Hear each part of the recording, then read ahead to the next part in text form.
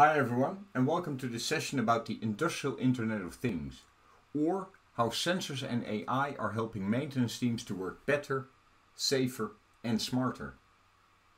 My name is Simon Jagers and I'm one of the founders of Semiotic Labs. Since 2015 we've been working to solve the most expensive problem in manufacturing, which is unplanned downtime of industrial equipment. More specifically, we've developed a smart asset monitoring system for industrial electric motors and rotating equipment such as pumps, compressors, conveyors, blowers and fans and more. Our solution, called SAM4, analyzes electrical waveforms based on AI and it provides real-time actionable insights into the condition, performance and energy consumption of connected assets.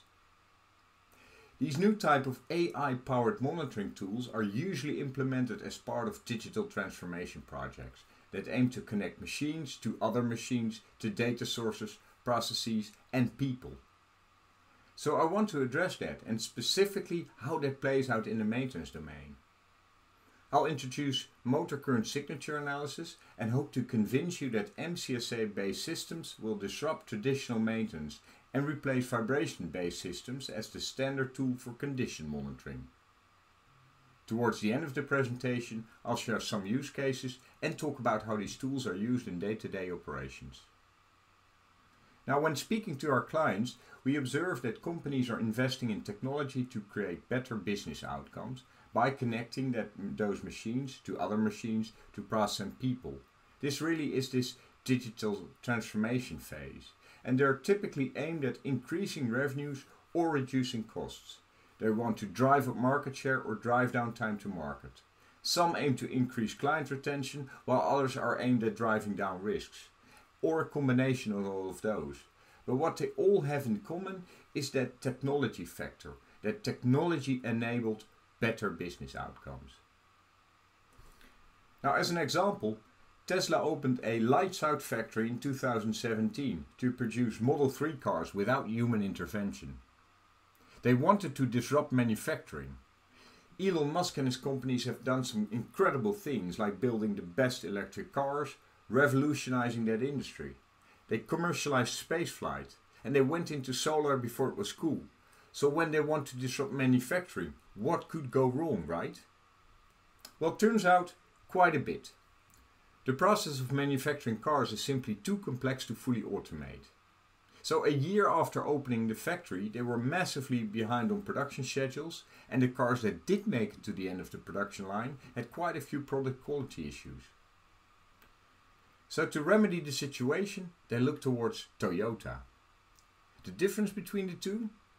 Tesla wanted to replace humans, whereas Toyota says that they only invest in technology that augments human capabilities. In other words, technology that helps them to work better, safer and smarter. And I think that's an important point, because in most production environments it makes sense to use technology for those tasks that technology does best. For instance, monitoring thousands of assets 24 7 without coffee breaks and with a consistently high accuracy. But just technology is not enough as the Tesla example shown. Technology is here to help maintenance engineers. And again looking towards condition monitoring, a monitoring tool will point a maintenance engineer towards an asset that might be failing or that is failing so that they can focus their attention, focus their domain knowledge and focus their enthusiasm on where it really matters. So combining technology and people often leads to better business outcomes than focusing exclusively on technology or exclusively on people. And that's certainly the case in our domain. Because on a high level, operations and maintenance teams aim to optimize the throughput and minimize downtime. But there are two things to note here. One is that the annual labor productivity has remained stagnant over the last 10 years now according to Deloitte, in the decades before 2007, productivity increased by 3.5 to 4% each year. And that's leveling off. And that's despite investments in new processes, new technologies and in people. They're simply not paying off. The second challenge is the increasing skills gap. In the next five years, when boomers are retiring, about one in three maintenance technicians will retire. And because very few young people have entered the technical workforce, maintenance teams will have to become much more efficient in order to maintain the current level of availability, let alone improve it. And that's especially worrying when it concerns the maintenance of industrial electric motors and rotating equipment. That's because there are about 300 million of them. There's really massive numbers. And they are the workhorses of the modern economy. To give you an idea of how important they are in everyday life, industrial electric motors consume around 30% of the global electricity supply. But an estimated 25 to 40 million of these assets fail each year, and that is expensive. Think of lost revenue, lost margin, high maintenance cost, energy losses, or things like penalties when SLAs are not met as a result of production outages. So naturally, our clients are looking for solutions to address the problem. They have several strategies at their disposal. On the one extreme, when failures happen frequently and carry high cost, it makes sense to re-engineer or uh, the machine or the process. On the other end, when failures happen infrequent and do not carry high cost, run to failure is the best option. But typically, in between, it makes sense to optimize maintenance and aim for maximizing throughput and reducing downtime by applying a maintenance strategy that supports those goals. And that requires a shift because today most rotating equipment is maintained according to a preventive maintenance strategy. Now, in a preventive maintenance strategy, most maintenance is performed too soon in order not to be too late. For instance, if a pump fails on average every 10 years and you want to achieve 95% availability, you can calculate the optimal time to replace that class of pumps by analyzing the normal distribution of failures. What this means is that you'll likely have to replace these pumps every, well, let's say 5 years, because 95% of your pumps will not fail in those first 5 years. But it also means that you're replacing many pumps that have a good 5 to 10 or even more years left in them. And that's wasteful because, in terms of the environment and in terms of efficiency, it simply makes a lot more sense to run a pump to its technical lifetime. Now, if you don't know the condition of that pump, it might make financial sense to replace it before it fails because replacing a pump is a couple of thousand dollars but a downtime incident can be, you know, a couple of hundred thousand dollars. So there's good financial reasons to do it, but a better way is to switch toward to a condition-based maintenance strategy. And that is because a condition-based maintenance strategy mandates that assets should be maintained or replaced at the optimal time. That is, before an asset starts to fail or when performance decreases, but not before. This is the most efficient form of maintenance and helps to improve throughput and minimize downtime whilst being very efficient with resources, which is a big plus considering the increasing skills gap. There's only one problem. You will need to monitor the condition of those assets and you'll need a monitoring tool that is accurate, scalable and cost effective. The traditional way of condition monitoring is done by a condition monitoring specialist that uses a high-end vibration sensor and takes measurements on its round. He analyzes the data and he's looking for upcoming failures.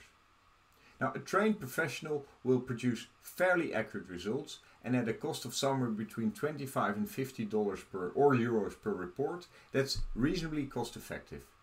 But it's not scalable at all because it takes a lot of time because in order to need to know the condition of an asset, you have to physically stand next to that asset, take your measurement, analyze the data and share a report. Now taking into account that 200 working days per year, about 20 to 40 assets per day, and noting that you'll need to do this quite regularly for a proper result, a single specialist can monitor around 750 to 1000 assets. Now, knowing that in the Netherlands we have about 200 of those specialists and about 5 million pieces of rotating equipment, you'll understand that this is not a solution. There's simply not enough specialists to go around. So the evolution of this traditional manual vibration-based monitoring systems is an online system that installs permanent vibration sensors on an asset and performs automated AI-based analytics. Now improved analytics powerful machine learning and improved data communication methods and bandwidth have a positive effect on the scalability because the labor intensive task of taking measurements and analyzing data have been replaced by permanent sensors and automation. However, there are caveats. High end online systems are wired systems and installing them is notoriously expensive, as anyone that has ever installed sensors in an industrial environment can attest to. So this limits the number of assets for which there is a positive business case and therefore negatively impacts scalability. A wireless low-end system on the other hand will be much easier to install but will also produce subpar accuracy because of data quality is limited due to battery life and data communication constraints and resulting trade-offs. Now assets operating in harsh conditions, hard to reach places and ATEX zones all frequently observed in industrial environments, are off limits as well, further reducing scalability. I believe that MCSA solves the issues with currently dominating solutions, and for three reasons. First, it's much more accurate in detecting failures. Second, it's much more scalable.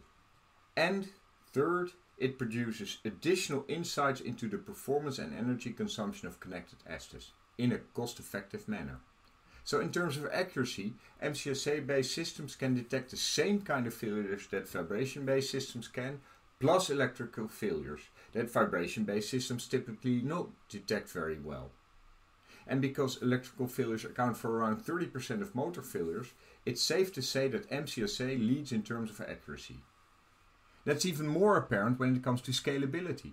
Because unlike traditional solutions that install sensors directly on the asset in the field, MCSA sensors are easier to and faster to install because they install inside the motor control cabinet, which incidentally also enables monitoring of assets that operate in harsh conditions, hard to reach places and inside ATEX zones because that MCC by definition is in a safe location to install sensitive sensor equipment. So what does a typical MCSA solution look like? Well, it consists of sensors and communication hardware that install inside the motor control cabinet. They generate electrical waveforms or they measure electrical waveforms and they'll send those waveforms to a platform where anomaly detection and classification algorithms will detect upcoming failures and classify them, meaning that they distinguish between a bearing failure a broken impeller and so on. Now, when such a failure has been detected, you will receive a notification as well as an updated dashboard. So you will have that information at your fingertips on your tablet, phone or desktop. In addition to the condition information, MCSA or electrical waveforms have a ton of information about, you know, things like performance, energy consumption, running hours, power quality and so on. So those are to some extent byproducts, but they will be valuable and they will be presented in that dashboard. Now I'd like to share with you how it's possible to detect a mechanical failure by analyzing ele an electrical signal. So let's consider this pump. On the left hand side here we have a pump, then we have a coupling, we have a motor and a variable speed drive.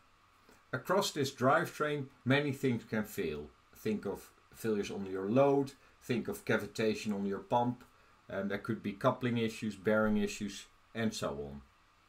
What these failures have in common is that they produce a vibration, and that vibration is different from when that asset is operating in a healthy mode. Consider for instance a pump where a piece of the impeller breaks off. That will lead to that difference in vibration. And that vibration will ultimately end up at the motor because it travels from the axle of the pump through the coupling to the axle of the motor. At the motor, it will disturb the air gap that sits between the static part and the rotating part of the motor. And when you disturb that air gap, you get wrinkles on your sine wave. So by measuring those wrinkles with a very high frequency and with a very high resolution, you get a very clear picture of the sine wave. And that sine wave can be turned into a frequency spectrum by applying fast Fourier transforms. And that's useful because in that spectrum you will detect, for instance, a broken motor rotor bar because you see increased energies at various levels that are associated with that broken rotor bar. I've indicated one with a, a purplish circle, but you can see many of these um, peaks rising when that motor, broken rotor bar is happening. And incidentally, you can track those energies over time, giving you not only the fact that something is failing, but how also how it is progressing over time. So what we're observing time and time again is a failure will cause a vibration. That vibration will disturb the air gap that sits between the static part and the rotating part. In turn, that leads to wrinkles on your sine wave that you can then turn into a frequency domain using fast Fourier transforms. And in that frequency domain, you see these unique patterns emerge or unique patterns emerging for that specific failure mode. Another example here, a broken axle on the pump, additional energy at 50% and 150% of the main frequency, indicating a broken axle, and we can track that energy at those failure frequencies over time so we can alert clients to these upcoming failures. Now ultimately you want that information to be displayed in a dashboard in an as actionable um, manner as possible. Now here we have the dashboard as such as we've implemented it, with on the left hand side the passport uh, with basic asset information, and next to that the health status box, with on the left hand side a visual indicator of severity, and on the right hand side detailed information about the failure, including recommended next actions. So this is what a user needs. What's going wrong? when do I need to do something about it, and what do I need to do about it. Now, in addition, we have all these energy and performance statistics, which are very useful, especially when coupled with the domain knowledge of the operator or integrated into a digital twin and those kind of things. So now that we've covered the technology, let's focus on how these types of monitoring systems are used in day-to-day -day operations. As mentioned, in a traditional manual setting, where a specialist makes the rounds and measures vibration using a handheld device, he'll need to physically be present to determine the condition of an asset. Now, online systems are capable of monitoring assets at scale, and there are at least two benefits to this approach.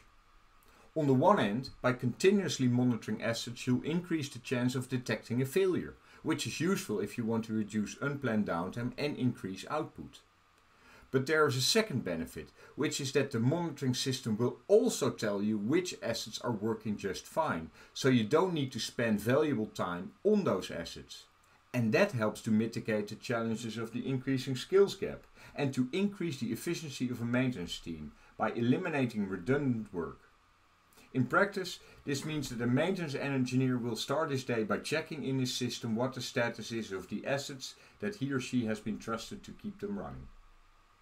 The overview of the assets under monitoring provides a link to a detailed status page, offering information about the condition of an asset and the failure mode that has been detected. And this is useful when planning inspections, repairs or replacements. Because in this example it means that a bearing has to be replaced. The information provided helps the maintenance engineer to know what to do, which is replacing a bearing, when to do it, and by indicating severity and remaining useful lifetime. This is obviously useful information and helps to implement effective condition-based maintenance strategies for critical equipment across a wide variety of geographies, industries and applications. In certain situations, MCSA is the only viable option to monitor equipment at scale. Think for instance in the steel industry. ArcelorMittal uses MCSA technology for monitoring a conveyor in a hot strip mill. Now, like the name implies, a hot strip mill is a very hot environment. In fact, the conveyor moves sizzling hot plates of steel across a production line. And in such an environment, it is in practice impossible to implement online condition monitoring technology based on any other technology but MCSA, because it is the only tool that can monitor the health of assets at a distance of several hundred meters, or far enough away to be shielded from the heat of the process. Now, a second example of how this is being used is in the Amsterdam airport of Schiphol.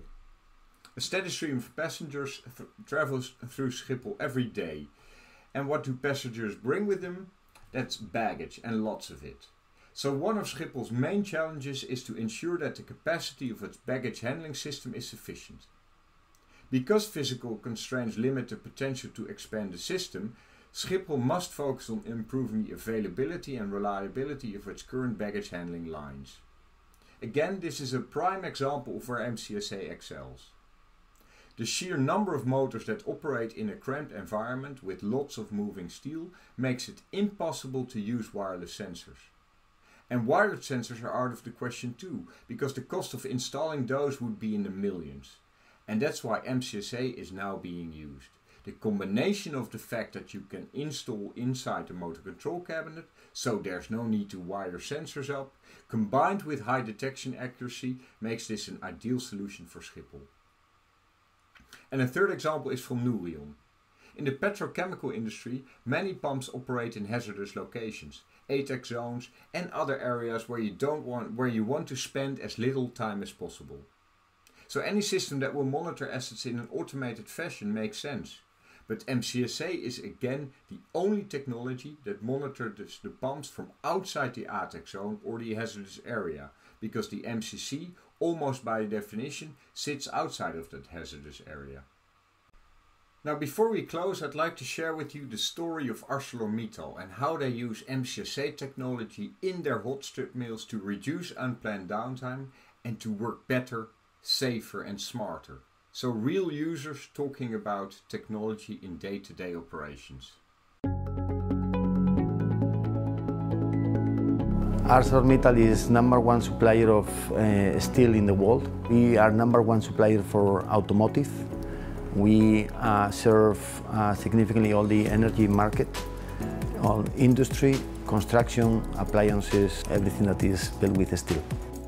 Over the past 100 years, the steel industry has operated in largely the same way. But the emergence of Industry 4.0 is now profoundly impacting the way ArcelorMittal makes steel.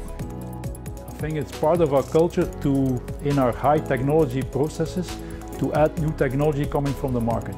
One of the big, bigger axes was predictive maintenance. And there we discussed internally with R&D also to go for two different strategies. First start with an agile company like Semiotic Labs and also work with a, a big major player. A properly implemented predictive maintenance solution provides the insights needed to prevent unplanned downtime, improve reliability and reduce CO2 emissions and energy waste what normally happens is if you have a failure in your motor and you can't predict, you run into issues with quality. The motor fails, then you have quality on your plate, and then you have to have an unscheduled stoppage of the mill. The pilot we selected was, was in a hot strip mill, which is a, a plant which runs full, full production all the time, which is very critical, and that's why we selected this pilot. The, the solution we did in the past is install, install measurements on the motors, but in these harsh conditions, I think the measurements Uh, fail in a few months. Those were vibration measurements and this then led to, to a more an offline analysis with doing rounds and doing the vibration me measurements every so many months. That's why I think the older techniques were not capable of doing it online and not doing it in advance. Then Semiotic Labs SAM4 was introduced, a plug-and-play predictive maintenance solution for AC motors and rotating equipment that detects well over 90% of failures up to five months in advance. Unlike traditional systems that require vibration sensors to be installed directly on the asset in the field, SAM4 analyzes electrical waveforms from inside the motor control cabinet. The Semiotics Lab SAM4 solution uses a measurement inside the electrical cabinet of the, the motors, meaning it's far away from the harsh conditions of the mill. The first three incidents predicted by Semiotics Labs was not accepted by the electrical people because they doubted the, the accuracy of the solution. Afterwards, the, those motors also came to failure. And once, once this, this conviction was there, then okay, Semiotics Labs, every prediction of every failure was accepted by the maintenance and they replaced the motor quite in advance. So in total, I think we detected 12, 12 issues, from which every one was confirmed by a failure later in the motor.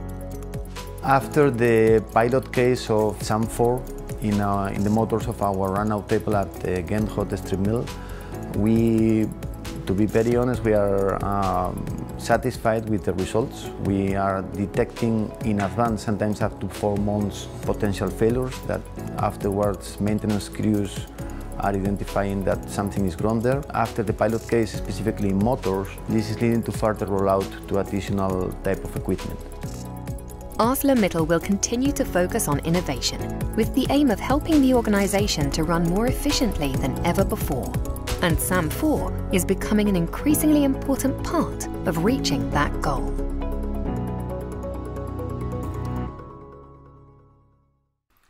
I hope that you've enjoyed this presentation and I hope that you found your time spent useful. If you're anything like ArcelorMittal, Schiphol or Nouryon, it probably makes sense to, to start thinking about how to apply this new wave of tools in your day-to-day operations.